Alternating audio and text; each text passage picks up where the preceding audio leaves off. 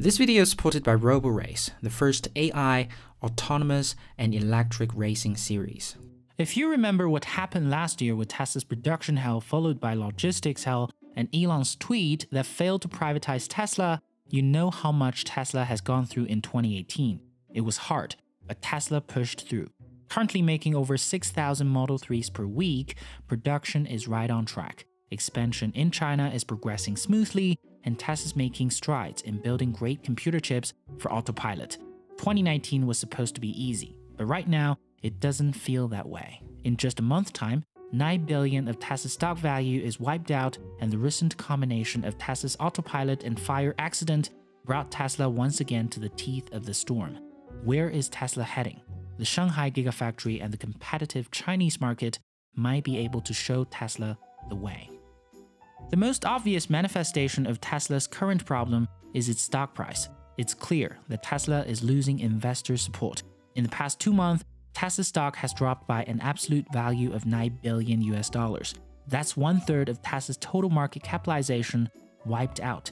And that is not all. What's more of a problem is that this drop in investor confidence is happening despite Tesla's steady production increase. To be fair, Tesla's production ramp up is not bad increased about 30% since the beginning of the year. With 6,000 Model 3s produced every week, Tesla is on track to reach its production target for 2019, which is 360,000 and 400,000 cars. That's a pretty healthy number. What Tesla now produces in half a year is its entire 2014, 2015, and 2016 productions combined. But apparently, for Tesla's investors, that's not enough especially with the lackluster demand of Tesla cars in China. Something has changed. Another Tesla problem that deteriorated the entire situation is the two accidents involving Tesla cars. Just in a month time, a video of a Tesla Model S caught fire in Shanghai went viral in the Chinese social media. In an autopilot era that was confirmed to have caused another death in the United States, similar to a previous autopilot accident in 2016. To be fair, Various models of Tesla are still the safest cars ever built according to statistics out there, but coupled with the autonomous driving technology, stories of Tesla car crashing captured people's imagination, activating the skeptic animal instinct that was buried deep inside of our brains. So it is safe to conclude that Tesla's current problem, although manifested as a financial problem, in fact reflect a deeper distrust of Tesla's sales production, and technical capability. Can Tesla's demand in China rise? Can Tesla produce enough cars to generate a healthy cash flow? And finally, is Tesla's battery and autonomous driving technology as impressive as Elon stated? These are the questions that are haunting investors, lowering Tesla's stock price and causing Tesla problems. But before I start explaining why China could be of help, let's be clear of one thing. Tesla is not in financial trouble as some industry analysts alarmed. It is also not going to run out of cash as Elon suggested because investors and companies are literally lining up to throw money at Tesla. Tesla will survive just fine. Nevertheless, Tesla, in my opinion, is going through a serious test right now. The outcome of the test hinges upon whether Tesla can prove to the world two things. First, whether Tesla can make the transition to become a mass market OEM producing at least 5 million cars a year, and second, whether its autonomous driving technology can unlock the potential Elon suggested. China can help with both, and let's explain them one by one. Shanghai Gigafactory was introduced last year and it broke ground on the 7th January this year. In only 5 months time, if you look at Shanghai Gigafactory construction, its exterior is almost complete, and the works are now moving to the interiors. This means Tesla's production schedule in China is on track, and therefore possibly we'll see Model 3s coming out of Shanghai production line by September this year. We know the Chinese constructions are fast, so no surprises there. But what most people don't know is that the Chinese manufacturing capability is also top notch, especially when it comes to electric vehicles. China has the world's most complete supply chain of electric cars. Many of the world's biggest suppliers and OEMs of electric cars are in China. Starting from the market side, EV sales in China was over a million units in 2018. With such huge demand for electric cars comes world-leading OEMs like BYD, Geely, and BAIC. It's important to note that these companies are less famous than Toyota, GM, and Volkswagen, but much bigger portions of their businesses are electric. BYD, for example, sold over 250,000 electric vehicles in 2018, more than that of Tesla. Therefore, under the assumption that EVs are the future of transportation, it's more accurate to think of them as the Japanese auto companies in the 1960s, on the brink of global expansion. Japanese high quality car dominated the US market due to its better quality and supply chain management, but for these Chinese companies, it would have been their preparation for the electric future. These companies are called OEMs, original equipment manufacturers, they make cars. The Chinese control over EV, however, reaches the entire value chain. Therefore, it's natural that we now move on to talk about Tier 1, Tier 2, and Tier 3 suppliers. This is where China excels. Tier 1 suppliers manufacture an entire system that is to be used in a car. NVIDIA, for example, is a Tier 1 supplier to auto companies. Its Drive PX2 autonomous driving platform is used widely in the industry. Tier 2 suppliers make parts for Tier 1 suppliers, and Tier 3 are raw material suppliers. China now has the most complete supply chain covering all tiers when it comes to making EVs. Taking battery production as an example, it is the hardest part to make. But in China, there are battery makers like CATL and BYD taking around 25% of the market share. And globally, two thirds of the lithium ion batteries used in cars are manufactured in China. Therefore, with China's supply chain expertise, it is understandable that Tesla will benefit from its production in China.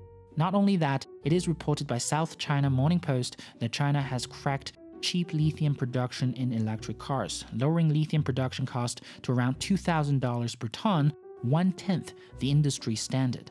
Tesla already is making its lithium ion batteries at an industry leading $100 per kilowatt hour. Imagine how much Tesla could save operating in China with cheaper lithium supplies. The gist is this in China, where EV productions are hugely supported, Chinese companies have already taken care of every links in the EV supply chain, from its materials to parts to systems. Elon doesn't have to personally visit Chile to secure materials ever again.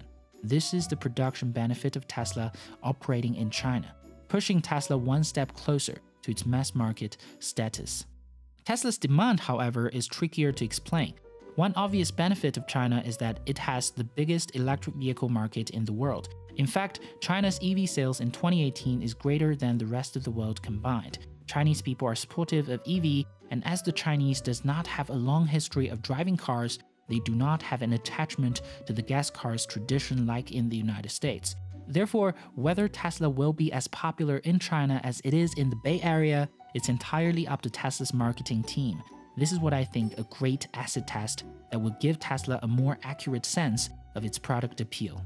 If Tesla can prove its superior appeal in the general public in China, who until now has no idea what Tesla is, it would be a promising sign.